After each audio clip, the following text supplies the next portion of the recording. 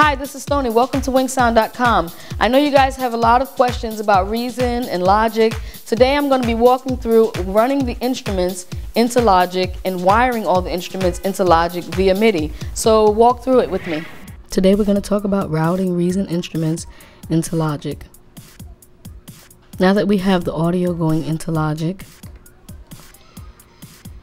as you can see in the auxiliaries, that we're hearing logic.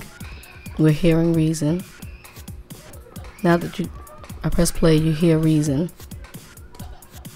So now I'd like to route an instrument from reason into logic as a uh, VST or as an external instrument to add onto my logic track.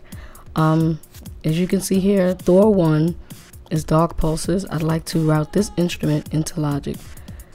It's as simple as creating a MIDI track going to go here to new. We're going to create an external MIDI track. Create.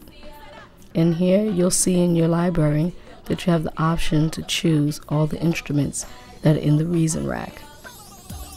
I'm going to pick Thor 1 as the instrument that I'd like you to hear.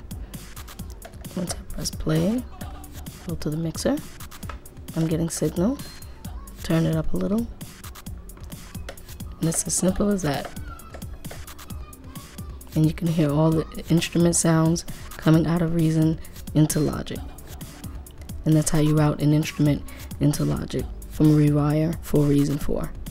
Thank you for watching. If you have any questions about any production techniques or any videos, please reach me at stoni at winksound.com, the new social video network for audio creatives.